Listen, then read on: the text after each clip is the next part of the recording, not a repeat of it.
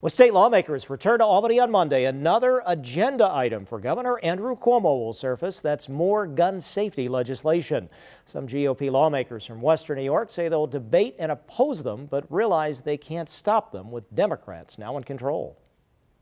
We don't need less gun control. We need more sensible gun control. And governor setting a tone for state lawmakers. As it is expected, new measures will pass next week a ban on bump stocks, which convert a semi automatic weapon to near automatic fire, a firearm violence research program in the SUNY system for more gun control options, and an extended waiting list for a potential gun buyer who does not immediately clear a background check.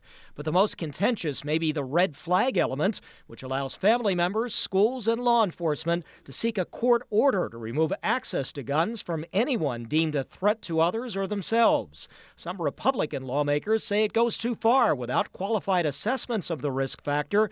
They propose instead immediately bring in a mental health professional to assess it.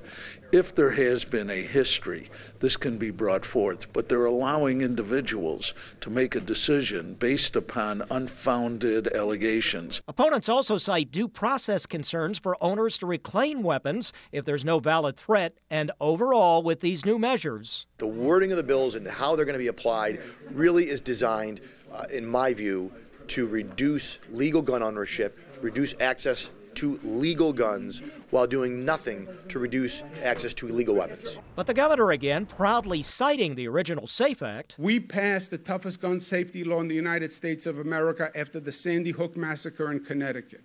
I took a lot of political heat for it. It was the first in the nation.